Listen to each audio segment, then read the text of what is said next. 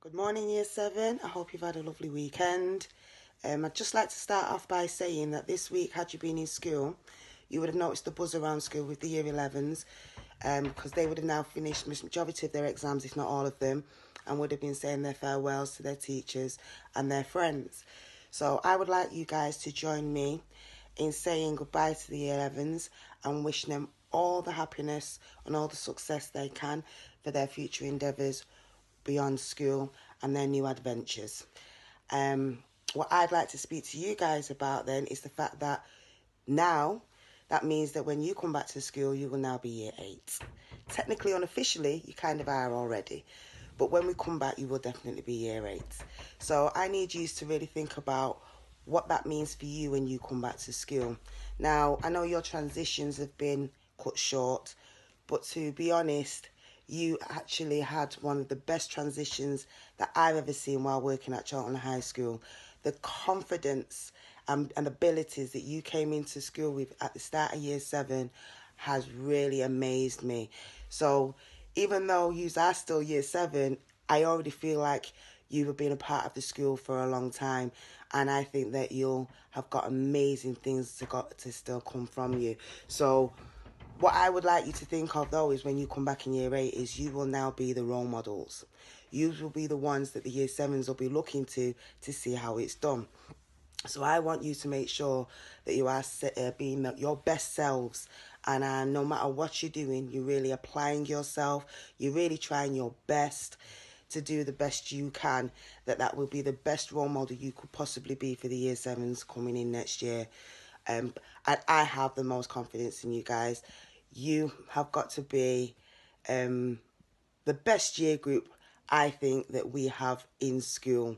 I know I might be seen biased because I'm your head of year, but I really do feel that the the ways have come in, the ways have taken to the last few months in your first year of school, and you just took it all in your stride with the same confidence, the same the same sassiness that you did at the start of the school, I think is absolutely astounding. And you have done gone more than better than we could have expected from you guys in such in your first year. So I know there's more and more for you to come. So I want you to really think about what you think you could do better in the coming weeks in the build up to coming into year eight. So even while working at home, I don't want you to get slacking off thinking, oh yeah, we're in this holiday soon. I want you to really take it day by day, thinking, what can I do today that I did better than yesterday? And take it one day at a time and really strive to be your best selves. I think that would be the best thing you could do for yourselves and the best things you can do for when you're coming back in year eight. I'm really missing you. I can't wait to see you all. I bet you've all probably grown several inches. Your, your maturity is probably going to be totally different. Um, but I can't wait to see it all. So um, keep striving, guys. Keep doing it day by day. And I will see you all soon. Bye. Hi Year 8, Ozzy here, hope you're all okay, missing you loads and loads. Um, I've had some lovely phone calls this week that have really given me a boost. This week would be the week where Year 11 would be officially leaving Chorlton High School. They'd be having their special leavers assembly, they'd be getting their shirts signed and they'd be saying goodbye to staff and friends. So I'd like to say a big farewell to Year, year 11. Um, I hope that the future is everything that you want it to be and I'm sure you'll all be super happy and successful in whatever you choose to do. Year 8, what does that mean for you? That means that you're moving up okay? You're in your last five weeks as a year eight student. You'll be thinking about preparing to get back to school as a year nine student. So think about that, year nine. This is when you really need to dig deep. This is when your GCSE journey starts. This is when we need to get a little bit serious. Now, the last 12 weeks have been some of the most challenging weeks we've ever had okay i know that i've struggled. I know that some of you have struggled and that's completely normal. However you've coped amazingly well with a new way of learning. The challenges that have come along with this distant le- distance learning you've, you've coped with you've done it. If you can do that then you absolutely can apply those same skills to your year 9 GCSE journey. The skills of motivation, resiliency, creativity, optimism, practice, all those qualities of success, you've smashed it, you've already done it. So that proves to me that when you come back in year 9, you can be the best that you absolutely can be. I'd like you to think about setting yourself some targets, just some small targets. You don't need to share them with anybody, they're just personal goals for you. Um, they could be things as simple as making sure that you commit to completing every task in lesson plus the extension work. It could be, right, I'm going to join an after school club, I'm going to meet some new people, and I'm going to commit to it and stick to it. It could be no behaviour points, no behaviour points. It could be not getting involved in any negative. Um, any any kind of negativity at all. I'm thinking about arguments with friends or arguments that you've got no um, business with at all, getting involved in things that don't concern you. And that's on social media, sort of nasty negative comments or in your um, group chats, things like that. So you could set a little goal of, I'm not going to do that, okay? I'm going to be a positive person. But above all, year eight, I want you to really, really, really think about being kind. If this this situation that we're in at the moment has taught me anything, it's to be kind to myself, but it's absolutely to be kind to other people. Um, people will always remember how you make them feel. Um, so I want you to think about that and I want you to come back in year nine being kind, being positive, being focused, and really getting ready to give your GCSE journey a, a really good go. I'm always there year year eight if you need me. You know where my office is. If there's anything at all that I can do to help, pop along and see me when we're back in school. Okay, keep being fabulous, my lovelies, and I will see you very, very soon. Take care. Hello, Year 9. Lovely to be back with you again. As we say goodbye to Year 11, it's been a time for me to reflect. Miss Wickstead and I were the first people that worked with them in year seven. I was their mentor and Miss Wickstead was their head of year. We had the ones who settled into transition very well, the ones who were a bit weepy, some weren't in the right class, some decided they couldn't do the work and they couldn't manage it. And you know, watch them evolve through the school and their time here that's getting them to year 11. It has been an eye-opener and really humbling. Now, the experience I'm taking from them is is what I'll bring to you. You came to the school high achievers expecting to do well. It is your destiny to do well and be successful. The reason why I know this is because you were strong individuals. You had a plan and your plan was to work hard, play harder, take on board the life at Chorlton High School and make it your own. And you know what? You've been successful. There have been some struggles on the way, but none far greater than the one you faced now. From phone calls, I can see that you've taken to it very well. Some of you it's really hard, it's unusual circumstances, but you will get through it. And you will get through it with hard work and perseverance because that's the stuff that you are made of. We are looking to go back into school after the six weeks holiday at some point. We're just not sure when, but when we go back, you are going to be ready. Don't worry about the gaps in your learning because the majority of you have taken this distance learning so well so proud of yourselves.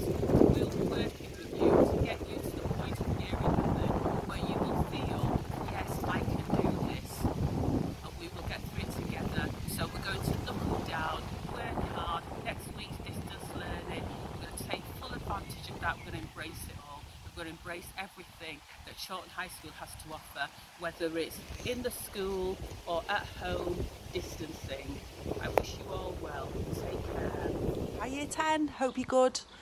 Now, this week in school is officially the last week for Year 11 students, and as a year group, we would like to wish each and every one of them the very best for their future. So, now, Year 10, where does that leave you? Well, that means in five weeks you are officially the new Year 11 students. Now, I remember becoming your head of year in year eight, and I remember my first assembly. And back then, and still now, my goal was, as well as your academic success, was to ensure that you were the best person that you could be. I want you to stand up against violence, to stand against racism, to stand up to homophobia, to be kind, to be caring, to be sensitive, to be thoughtful, to be all those things that you've all turned out to be. And you've blown my goal out the water. So I guess my goal is done. But what's your goal? How are you going to be successful? What does success mean to you? I'm asking you all to have a really hard think about this because this next year for you is the most important year in your academic life so far. I really want you to come back motivated. I want you to come back eager. I want you to come back and smash your predicted grades. I want you to be the best person that you can be. I'm looking forward so much to seeing you next week. Um, I'm thrilled, I'm delighted. I hope I see you all, and I will see you very, very soon. Take care. Bye. Hi guys, hope you're all alright and managing to actually make the most of some of the sunshine we've had this week. I'm trying to do my best doing that, but it's supposed to rain again this week, which is really, really annoying. You might have noticed the thunderstorms the other day. Um, anyway, this week is all about thinking to the future and thinking about what year you'll be in next year. So obviously year 9 and 10. Year 10 you'll be moving on to year 11, big year for you and also a really big year for our current year 9s moving into year 10 as well. So we need to start thinking about what do we need to do over the next few weeks um, to make sure that we're ready for whenever we return to school, whenever we return to normality around September time or, or, or whatever the government says. So have a think. What do you need to do? Are you up to date with your work? Have you missed anything that you know you might need to go back on a little bit? Um, is there any even passion projects you can start? Anything you're really passionate in uh, and about at the moment? That you could maybe look at to um, sort of explore extracurricular things like that as well. So really, just have a think about what you're going to do to improve yourself, um, starting from now and into next year. Cheers, guys. Have a good week. Hi guys, it's just a very quick message from me. So first off, I just wanted to say a big congratulations, well done, and um, I can't believe your time at Chorlton High School has come to the end, year 11. Um, but you should be super proud of how you've handled absolutely everything over the past five years, um, in particular the last couple of months, because it's been a real surreal experience and from what I hear you've absolutely made the most of it and you are just going to be going on and doing brilliant things at college I am positive of. Um, next message is to all of us Chorlton High Schoolers that are left. Um, again, well done. It's been a really successful distance learning, I think. Um, from the sounds of it, you've been really happy, you've been creative, um, and it's time to now think about moving forwards with it.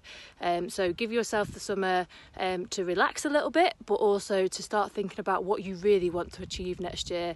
Um, and let's come back in September and let's really focus, let's really get it, let's work together, and let's be as successful as we can be. Take care.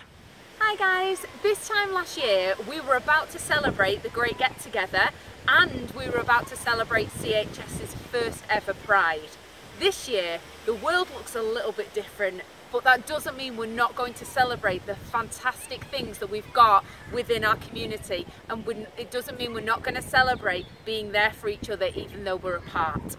The Belong Festival begins this Thursday where the first 30 people to like our Instagram post get a free afternoon bee which is our Chorlton High School version of an afternoon tea which is a fusion of flavours that we hope you'll really enjoy. On Friday we've got the great get together and then next week we've got events running every single day for you to get involved in from your very own living room.